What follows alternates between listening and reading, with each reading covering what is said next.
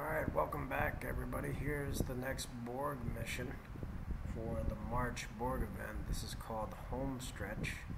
Uh, so the first two parts, even though it says uh, go to the first checkpoint and respond to the distress call, are just two waypoints.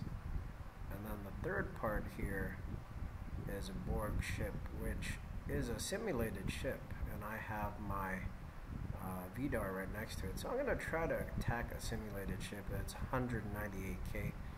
We're going to try to put that in the title for you guys. And see if we can defeat this ship here. Now it looks like I'm going to lose because the little marker comes up. And this usually happens when... Uh,